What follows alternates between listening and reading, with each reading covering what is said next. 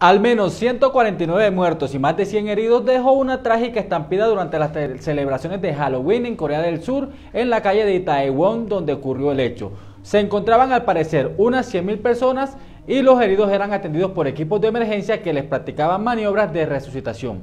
En el centro de Seúl cada año se aglutinan miles de personas durante la celebración de Halloween, informó el Departamento de Bomberos de la capital surcoreana. Poco antes las autoridades habían ofrecido un balance de 120 fallecidos y 100 heridos.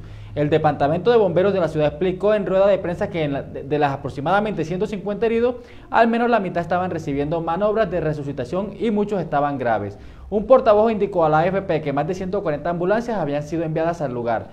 Eh, en el video podemos ver a los equipos de emergencia practicando maniobras de resucitación sobre decenas de personas en las calles de Itaewon. El incidente que según los bomberos se produjo a las 10 y 22 de hora local parece ser la consecuencia de una estampida cuando vieron una celebridad y corrieron hacia la calle estrecha.